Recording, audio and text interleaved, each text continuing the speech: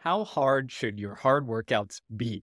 We often hear no pain, no gain. You see videos and pictures of people on Instagram and social media being completely and utterly exhausted after their workout, as if this was the goal. Well, let's break it down the science and the practice of how hard our hard workouts should be. So, first off, the easiest thing to do in the world is to create fatigue. So, make someone so tired that they're going to be exhausted lying on the ground is simple. You can do it in a number of ways. You basically go really intense with not a lot of rest, and you'll be tired. You could also do it very, very intense with longer rest, and you can still get them to that point. But the point of training is not to experience extreme fatigue, it's to embarrass the body to adapt in a specific direction. Again, the point of training, we apply a stimulus. That stimulus makes our brain and our body go, oh crap, we're not quite as prepared as we thought for this. So we better adapt so that next time this comes around, we're prepared. The simplest example is if you go lift some weights, you create some micro tears in the muscle fiber. Muscle fiber comes, the muscle comes back, repairs that, makes it stronger. In endurance events, we train for a while, we get low muscle glycogen in the muscle fiber.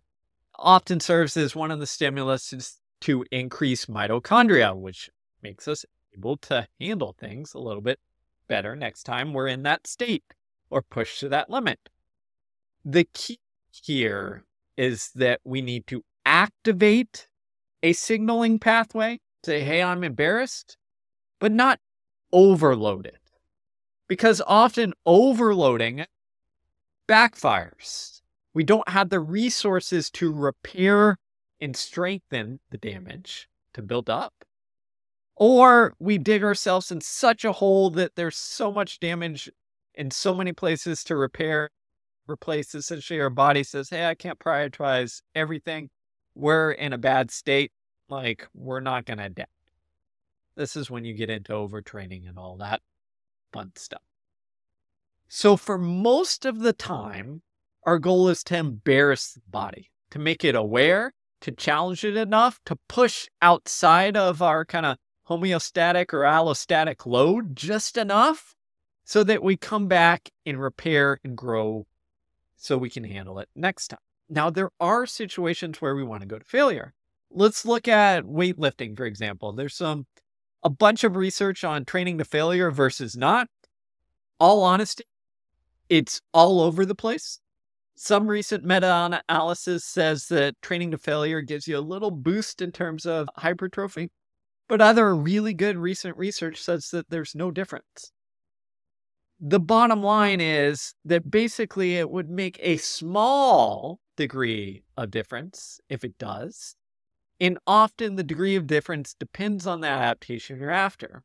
So, for example, a recent study in 2023 found that training closer to failure causes similar gains in maximum strength as when you train further away from failure, but it allowed for more hypertrophy and then less in terms of what we generally colloquially call power. So things like uh, squat jump height. And that makes sense. Train to failure, maybe you get a little boost in hypertrophy, some muscle size, but that probably will take away from your power output because those last couple reps are going to be not the stimulus you needed for power, which is force output over a shorter amount of time, that rep is going to take longer, not as good as stimulus. This is why when we look at sprinting or doing anything like that, we often have fatigue as the enemy. When we're looking at neural adapt- adaptations in that regard, you don't want to get fatigued. This is why sprinters take so much rest. Okay. How hard our workouts are depends on the desired adaptation. Now, I'm going to speak in generalities here. Okay. But the way I look at it is for the desired adaptation, meaning is it neural, power based, speed based? Is it tolerance based? meaning we need to increase our buffering capacity. So we're going to have to go into the well of fatigue. Is it more endurance or aerobic based? Is it fuel utilization based? Meaning glycogen is the same thing we're trying to get used to and adapt to in terms of long runs or marathon fat utilization. We could go through the gamut.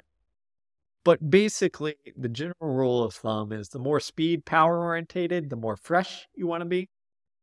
The more it is in terms of buffering tolerance, we can dig a little further into fatigue. And the more aerobic or endurance side of things is generally you don't need to go to the well that often. In fact, probably get in the way. The second thing I look at is okay, our desired ad- adaptation, number one. Number two, how long will it take me to recover from this stress? The further down into the well I go, the longer it takes to recover. So, what does that mean? I dig a big hole, but now I have to wait three, four, five, six days before I can do a hard workout again. So my cumulative adaptation versus being able to bounce back and do a workout, hard workout again three days later, cumulatively, I'm losing stuff. It's not always a good trade off. So think of how long is it, does it take to recover? Third and final thing I consider is it better to stack a lot of small pushes out of this kind of homeostasis or a few big pushes where we go close to broke for that adaptation. Generally, we want lots of small to moderate pushes. That's just what the research and training shows. Every once in a while, a lot of times for two reasons psychologically, and then sometimes physiologically when we're stuck, uh, we're recovered, but we're stuck on a performance plateau we can go what my high school coach called go see God, to go to the well work. Now, I'm going to caution you. Even in well trained athletes, you're looking at go to the well workout in runners maybe once a, a year, maybe twice a year, once a season. Much more than that, you're probably in, in for it. And that gets me to the basic general rule of thumb is way back in the 1960s, Arthur Lydiard said it best, the famed distance coach, said, you should finish your hard intervals with one more rep in the tank. Meaning, if you've got 10 by 460, you should get through that 10 400 in 60 seconds and feel like, oh man, that was tough. But if I had to, I could eke out one more rep. How close do you get to that one more rep again depends on the the stimulus and adaptation, but it's a good rule of thumb. Other things you look for as a coach or an athlete, and I see this all the time with novices and beginners, is your pacing during that workout. If you can get through the workout where you're hitting 60 point, 60 point, 59 point, 61 point for those 400s, so they're all relatively around each other, and you get to the last one and you're like, okay, I, I was maintaining, I was able to still keep it 60, 59. You probably paced, that was probably an appropriate workout. If on the other hand, you see those pacing going backwards, meaning you're 60, 59, 60, 61, 62, 62, 63, and then you come back with the last rep because you're finally done at 60, or what we'd call the, the JV kick at the last rep, where you go out, slow down in the middle, and then kick like a hero home. That generally tells you that workout was too challenging for you. You wrote it too difficult. You didn't pace it well. So when we talk about hard workouts, it's not only do we go to the well or not, is the workout as written a just manageable challenge? Meaning, yeah, it embarrassed my body a little bit. It pushed me mentally and physically but I got through it. Now, it's important to say we're talking about the hard workouts, the one or two, sometimes three, depending on the athlete level, hard, specific, hard sessions during the week. We're not talking the easy days, the recovery days, even the long runs, really.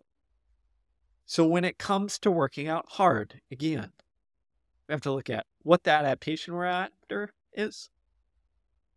Is there a downside to pushing to failure besides in injury and adapt- adaptation? How long does it take to recover, bounce back from? And for this stimulus, is it better to be consistent over the long haul for a while? Or do we need a slight, maybe psychological shift to see God? And I think it's really important here because when we go to failure on some workouts, there's a downside to it.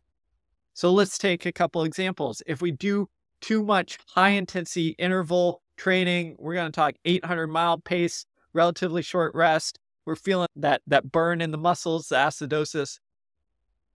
If we do that too frequently, it shifts the seesaw of endurance. Our brain goes, "Oh crap, we've got to get really good at buffering this stuff, working glycolytically, anaerobically." Prioritize that, and our endurance capacity goes down. Okay. This is why often when people do too much speed work at the end of the season, when they're trying to peak, sometimes they don't get that boost in performance because their aerobic ability has shifted too much.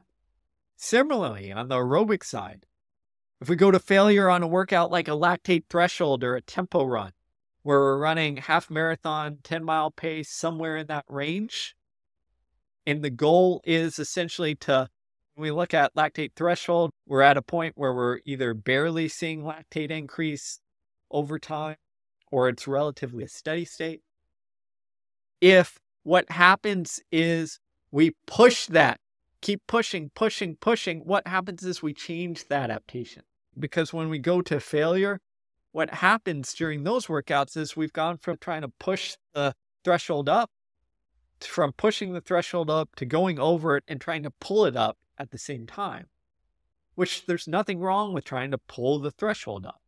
But if the goal was to ride that line or ride below that line and embarrass the body by getting it used to just being just below that threshold, the training adaptation has gone out the window to a degree. You're still going to adapt to a degree, but you've shifted it a little. So keep that in mind. So there you go. How hard should the workouts be? For most workouts, again, adaptation matters, athlete matters, but for 95% of them, follow the Lydiard rule. Have one more rep in the tank. Don't be the Instagram hero. It doesn't pay off.